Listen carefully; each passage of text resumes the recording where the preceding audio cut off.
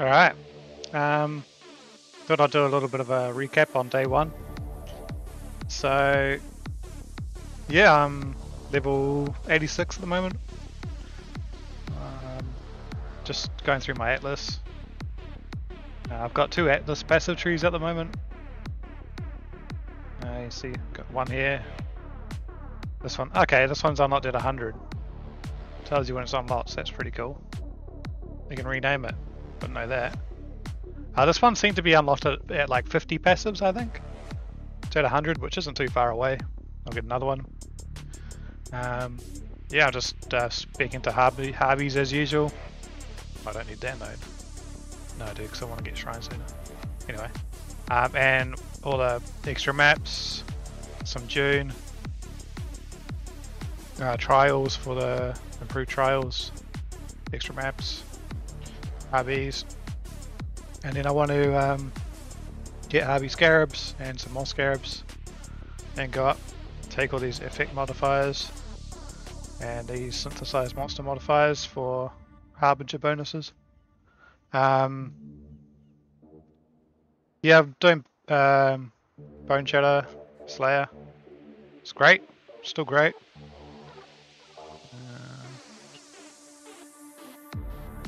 Curse's early weakness, alright.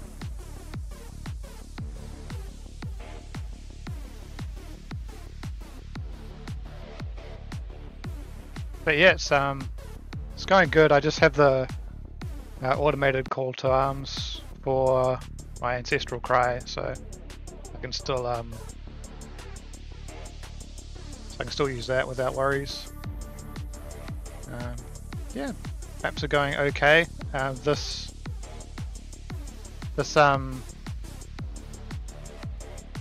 uh, this like uh, leak has seems to have quite a bit of like uh, currency drops and things. Like it's definitely not going to be a poverty leak. I think it could be a lot juicier than people are expecting. The modifiers on the maps and that.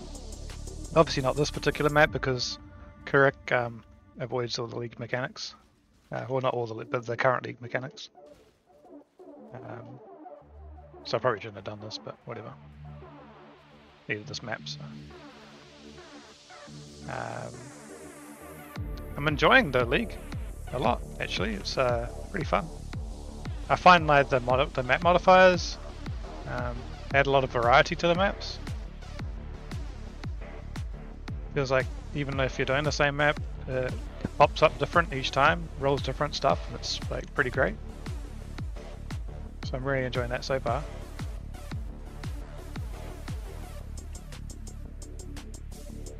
Yeah. Boneshatter's going good. It could be better. Obviously it got a bit nerfed with the... But yeah, notice I'm not really using totems. I don't like using totems anyway, so I just...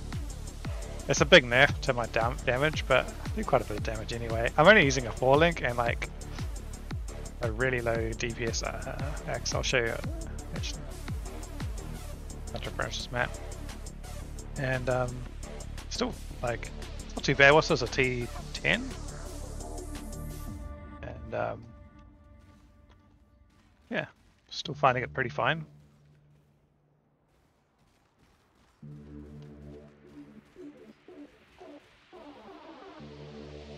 There you go. Yeah.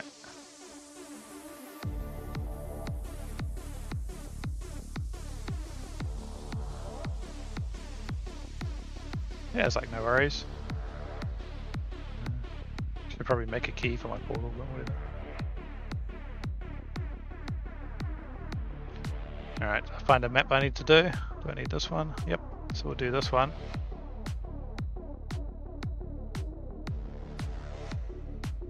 And what am I doing here? Oh yeah. Okay, so I can unspeak my. Well, I think I'll just keep that. Okay, so this pops up like when you do a map now. Have I unlocked harbingers yet? No, I haven't. You do a map now, now this pops up, which is the league mechanic. And this, the orange ones are usually bonuses, but actually some blue ones are bonuses, like they'll give like plus three levels to the monsters, which is actually like a good thing for you, so you get level items. It seems to be that like the first monster they list is like the most common monster they have in the map, and the lowest is like the least common. So it's usually good, unless they have these like modifier tiers, like this. Uh, see this modifier tier lowers the modifier that's on it, and this one is less pack size. So it's going to be a lot less of these monsters, and also um, the modifiers on it don't affect it so much, right? So you can put like a real harsh modifier on it and it gets nerfed basically. But that can also go the opposite way. If you get like a green arrow that goes up, then it will like buff this modifier. So it'll go from 400 to 600% quantity. Whereas if you put it on there, it goes down to 200% because it's a, a, negative to the modifier tier. And yeah, it's pretty cool. And then you got these little things obviously that can um, change what type of pack it is. I might die if I do that, so I won't. But yeah. Uh, but no, I'm enjoying it.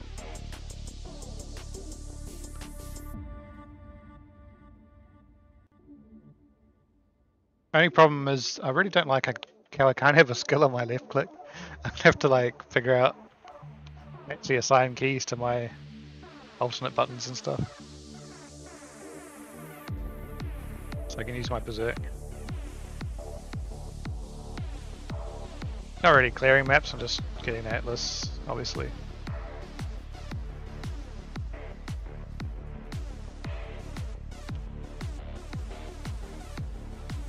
I just collected a corpse there that um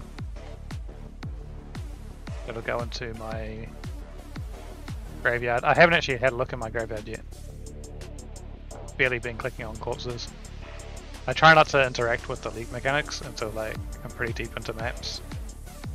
Yeah, just in general because I find in PoE they slow you down a lot uh, with your progress and they often give you a lot more stuff in general uh, when you do higher level maps so it seems to be detrimental kind of both ways to do them early.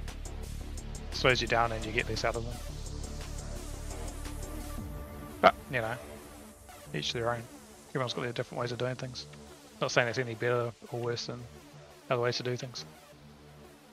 Oh, already got the... Oh, this guy is going to get me with the big... To put on my molten shell because I don't know. I don't know when he uh, does this thing. Ah, sweet. Killed him without him. He picks up a massive boulder and he one-shots you with it sometimes, so... Gotta watch out for that.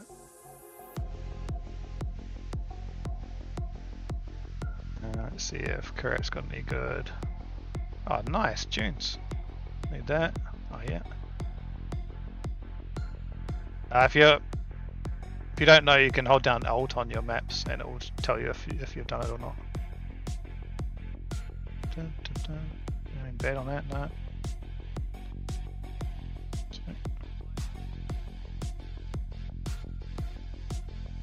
So this one here you get a few more modifiers, a few more different monster types too. So basically it's always best to put the whatever, you got these tiers as well. It's really cool. Okay, generally, yeah. Strong strongest one to get increased experience. I'll just do that. Skip that because it's got a negative one to modifier tier. But you see how some of these things don't get affected by the modifier tier, but some will. See like this one, plus 30% to resist. Yeah.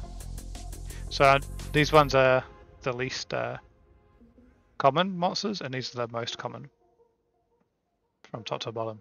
That's what I found in general. So this and the bottom it's got pack density is very low, and yeah. Anyway.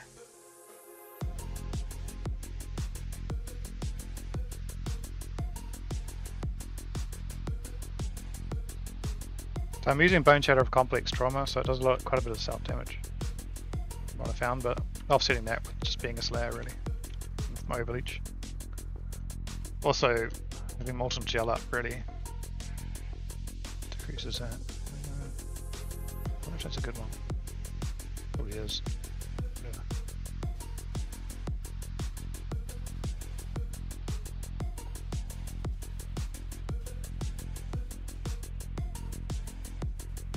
Scarab.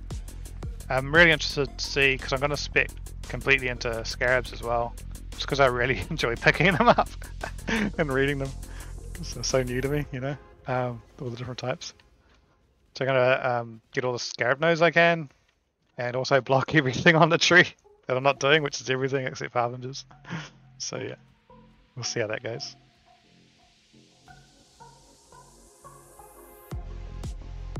Maybe I'll keep Delirium. There's uh I might actually do Delirium. I've got some theories about how Delirium affects Harbinger monsters because a lot of my mirror shards I got, I think I got like six or seven mirror shards last week. A lot of them came from uh, Delirious maps which like a disproportionate amount came from Delirious maps, so I was wondering if there's some weird effect that I'm not aware of. So we'll see about that.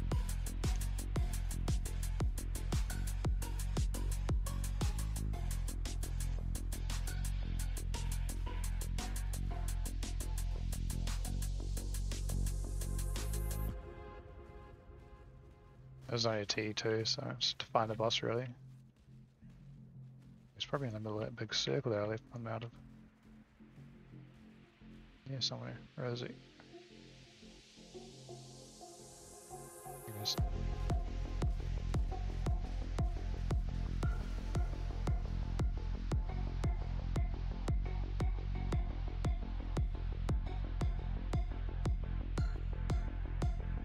Alright, do one more map and then um Strand used to be my favourite map.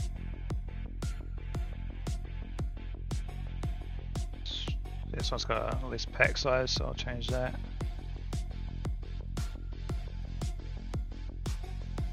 It's got negative pattern to one tier, modifier tier, and less pack size. This is actually pretty rippy, so. Ah, better it, we'll try it.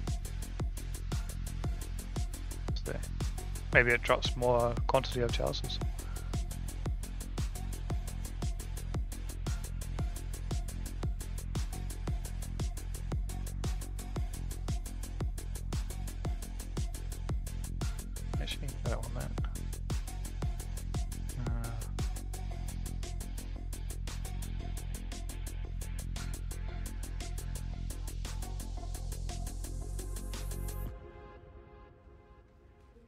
Strand, my old friend.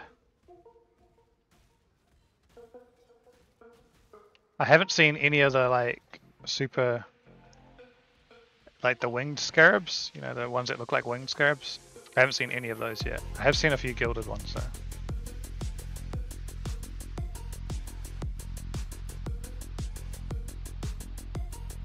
So it'll be interesting to see once I actually fully spec into it how how many of those drop.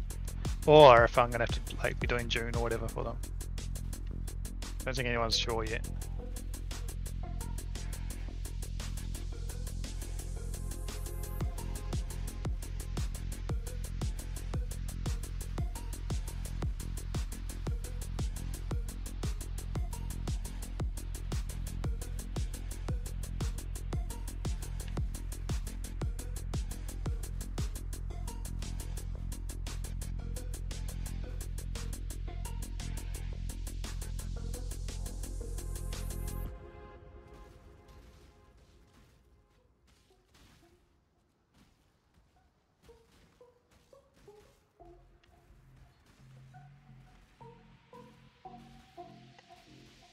I really want to try out the new Harbinger Scarabs and see how they roll.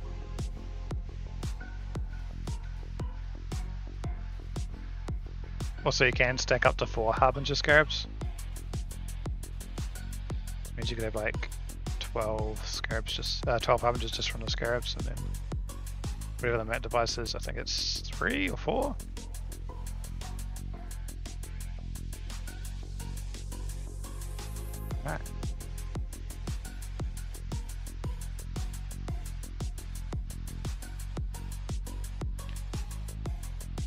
Goes increased magic pack size. Cool. Uh, I picked up another one. Delirium Scarab. Uh, Beat breach, elimination. I picked up another one somewhere. What is this? Pack monsters drop. Okay. Uh, but yeah, this is my current axe, so this is like 400 DPS. yeah, I need to upgrade that. But like you see, I'm doing mats fine. Like I was doing T10s fine with it. You know, you saw that. So and with a four link. So a reason. Who cares about not having totems? It's not like I'm like fighting Ubers now. You know, later on, sure, probably best to speak into them, but build's fine without it. Four link and a 400, like literally almost a third DPS of an axe. You know, of a good axe. Yeah. Anyway. Um, yeah, I hope your league's going well. Mine's great. Really enjoying this league. Um, yeah, we'll see how it goes. Uh, thanks for watching. Uh, like and subscribe if you want. I'll catch you later.